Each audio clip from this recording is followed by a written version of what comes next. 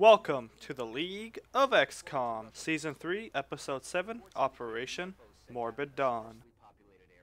Today's episode, the aliens have tried to set up a base on Earth, and we're gonna go kick them out of it, as well as hopefully capture some aliens. So, let's start off. On today's pro tip, you might remember me talking about there being 5 to 7 aliens on small crafts. Well, today I'm here to tell you that I've been completely wrong. So, let's start off the mission. This mission is going to be pretty straightforward. I'm going to move my men in a line so that if the first move doesn't trigger any aliens, the rest of them shouldn't. And I'm going to keep Trinity in the back to give us some suppressing fire in case we run into anything. We're going to move to the left for that log for cover. We're going to give Tryndamere some full cover, and we're going to move up the rest of the team up to the rocks.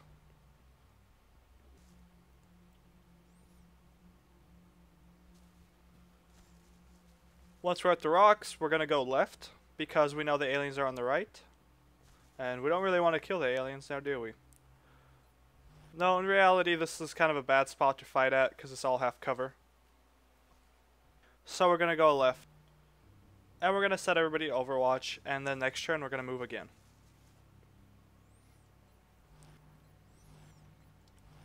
Now we're going to move down to those logs.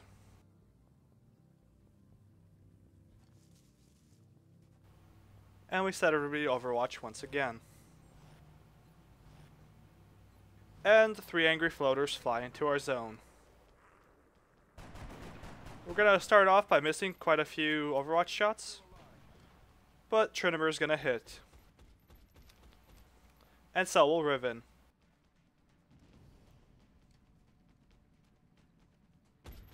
And then Nasus finally will kill one of them. Honestly, that's the best Overwatch shooting I've ever seen. We landed three out of the six shots, and we got an alien and wounded another.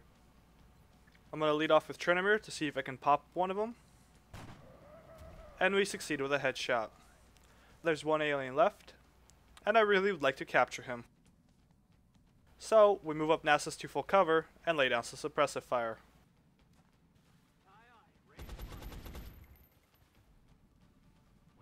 We move up Riven a little closer so we can try to capture him next turn. And the rest of the squad is going to move on the other side of the log so they're not flanked. And I'm going to have Singe do some shooting. He'll land 2 damage, reducing that floater to 1 life, which will make it perfect for capturing next turn. On the alien's turn, the floater doesn't do anything, but we have 3 more presents. Several Overwatch, dealing 2 damage.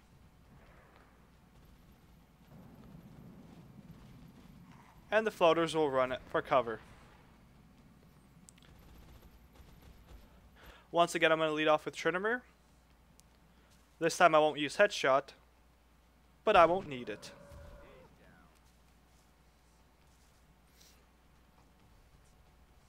I'll fire a rocket with Nasus to take care of another one. I honestly thought I could get the one in the back, but that didn't happen.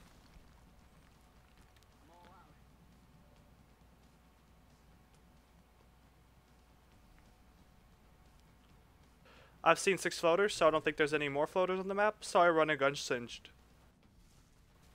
Well, I guess I was wrong.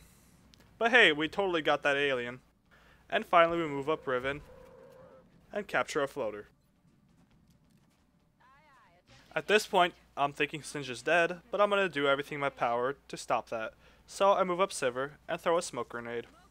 The smoke grenade will hopefully protect him.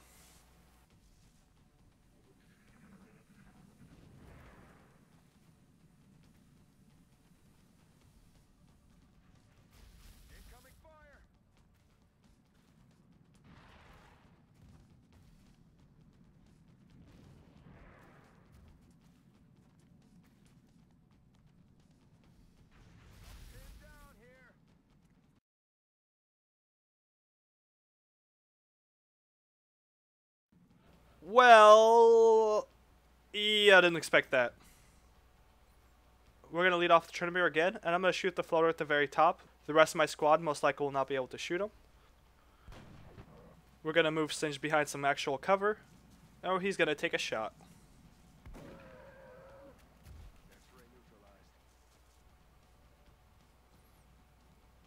we move to Sivir and do some shooting. And one rocket's a bit excessive, but I'm fairly confident there's only an outsider left because we've seen nine floaters now.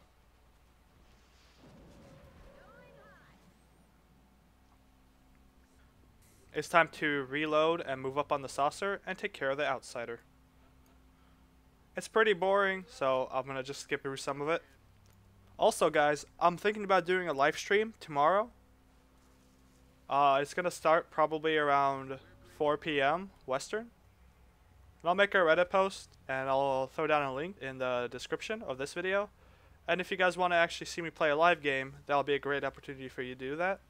As well as ask some questions and just make fun of my play.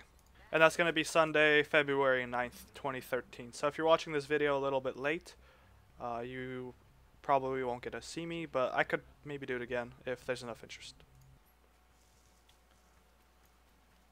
Okay, back to the mission. We're ready to move up to the craft and activate the outsider. Nasus moves up and sees this outsider, and the outsider promptly runs to us. Capturing the outsider is going to be pretty huge, as we won't have to capture one later, plus it will give us another plasma rifle. So I'm going to try to do that.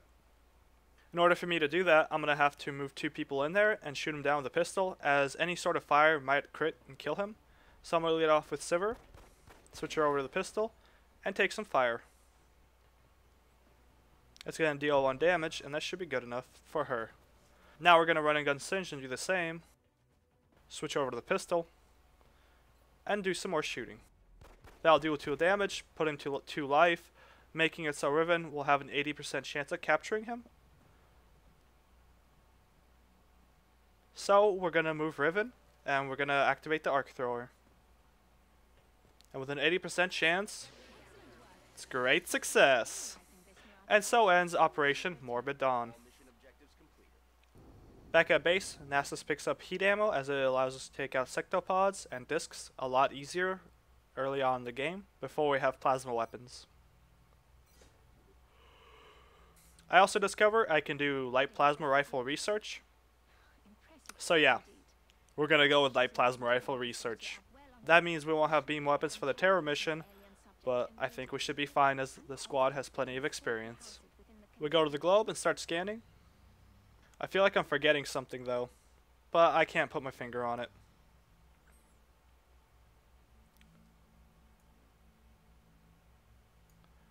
Russia would like to have two nano vists, and they'll give us a cool 52 space bucks, so I'm going to build one for them. So we're going to go to the gray market and sell off all the useless junk we just got. I still feel like I'm forgetting something. Oh well, we're just to scrap a bunch of stuff make some vests. And I also need to build a satellite uplink, which will require 5 power. It takes 14 days to build an uplink, so I need 19 days in order to build the uplink and the power. And, as you might have guessed, I forgot to build the power, as I'll be 2 days short. This will make me salvage Alien Jail, so I have enough power to build one. I'm to sell some Elerium off, so I can build a generator also now. And we go back to the globe. Man, I still feel like I've forgotten another thing. Generator finishes. I don't know what it is I forget. And our new missions are up. I just kind of sold Alien Jail and I sold a bunch of stuff like Elerium, so I'm kind of wanting cash. I feel like my engineer numbers are pretty good and my science is going pretty decently also. So we're going to be going for the money. And we get rid of the arc thrower because we don't have Alien Jail anymore. And now I remember that, hey, the Russians wanted those two vests. So, I'm going to sell off some alien alloys. I'm going to build the two vests. And I'm going to get 50 bucks. Join us next time for Operation Final Fist. And as always, if you haven't still done it, go ahead, create a Google account, and subscribe to my videos, as it actually helps me out a lot, because I make my videos for my subscribers. If there's something you didn't like about the video, let me know in the comments. And as always, thumbs up the video if you enjoyed it.